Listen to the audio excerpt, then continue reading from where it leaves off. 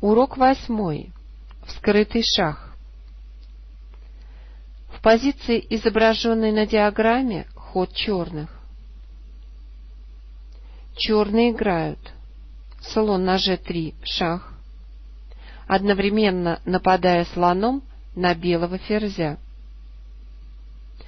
После того, как белые уходят из-под шаха, король на g2, черные забирают белого ферзя, слон бьет h2, получая решающее преимущество. Обратимся еще раз к исходной позиции. Идея комбинации черных заключалась в том, что слон, отходя на поле g3, нападает на белого ферзя, одновременно открывая нападение черной ладье на белого короля.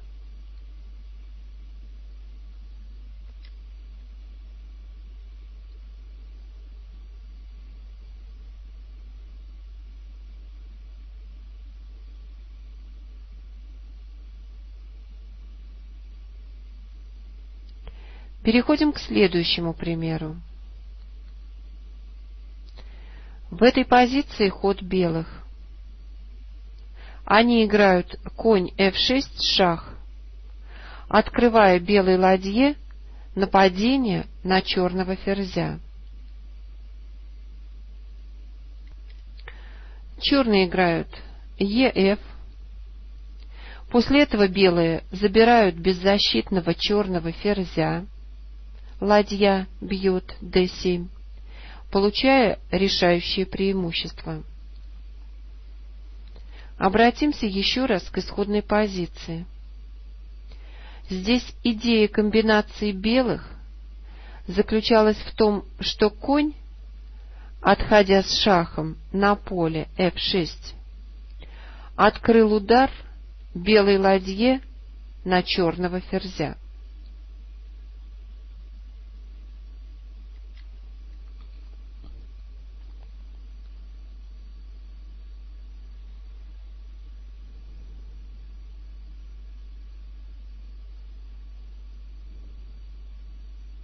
Переходим к следующему примеру.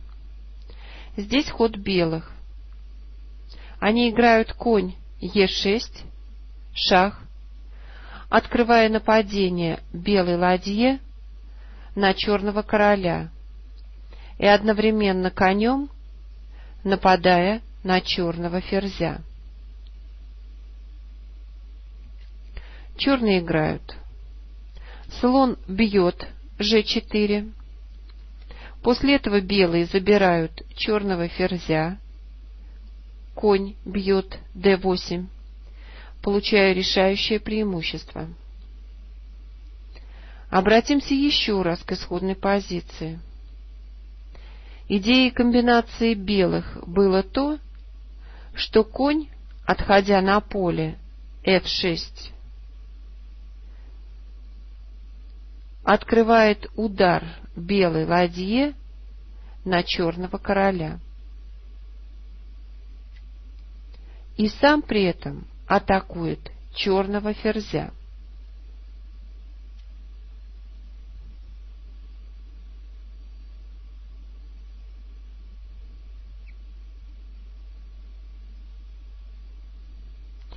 Переходим к следующей позиции. Здесь ход черных. Они играют конь на b5, шах, открывая нападение черного слона на белого короля, одновременно нападая конем на белого ферзя.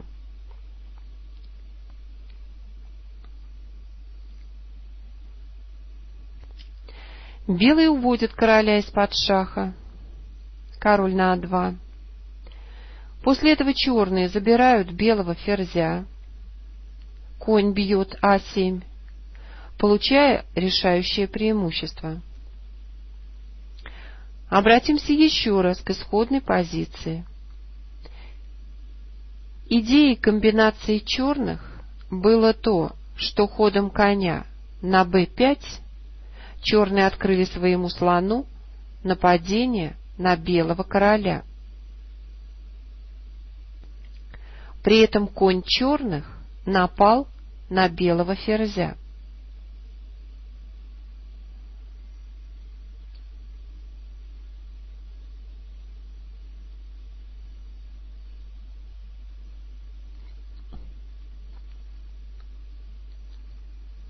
Переходим к следующей диаграмме. В этой позиции ход белых. Выиграйте с помощью комбинации скрытый шах. Правильно. Конь g5, шах, открывая белому слону нападение на черного ферзя. После вынужденного хода черных король g6 Белые забирают беззащитного черного ферзя. Слон бьет c6, получая решающее преимущество. Обратимся еще раз к исходной позиции. Идеей комбинации белых послужило то, что ход коня на g5 с шахом черному королю одновременно открыл нападение белого слона на черного ферзя.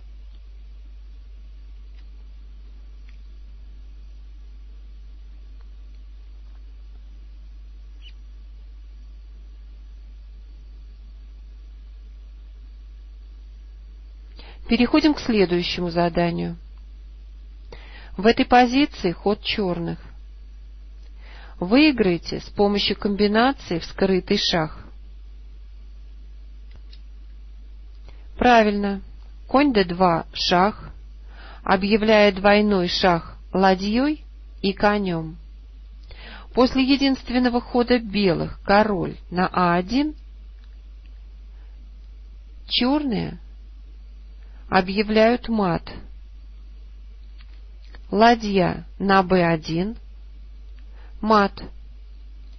Обратимся еще раз к исходной позиции. Идея комбинации черных заключалась в том, что после хода конь d2 шах королю белых одновременно объявили конь и ладья.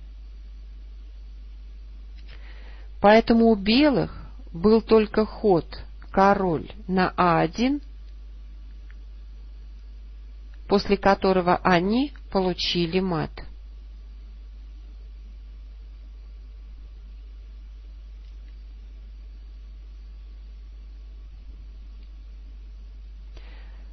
Переходим к следующему заданию. В этой позиции ход белых. Выиграйте с помощью комбинации в скрытый шах. Правильно. Ладья на А6, шах, с двойным шахом ладьей и слоном. У черных единственный ответ — король на G8. После этого белые объявляют мат. Ладья H8 мат. Обратимся к исходной позиции. Идеей комбинации белых явилось то, что после хода ладья H6 шах был объявлен одновременно слоном и ладьей белых. Единственный ход черных — это король Ж8. После чего белые объявили мат.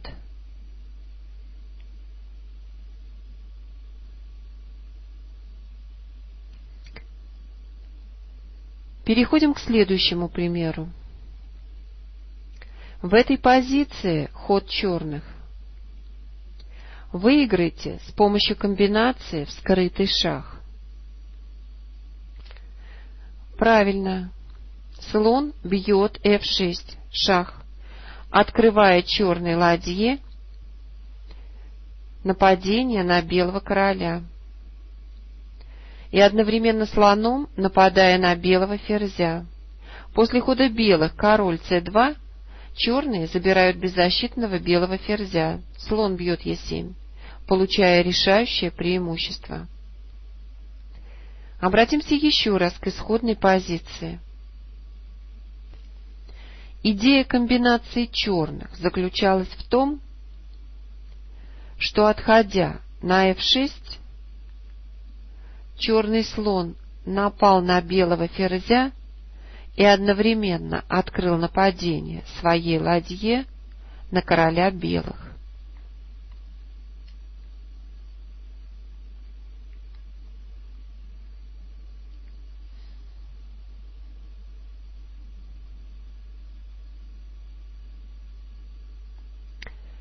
Переходим к следующему уроку.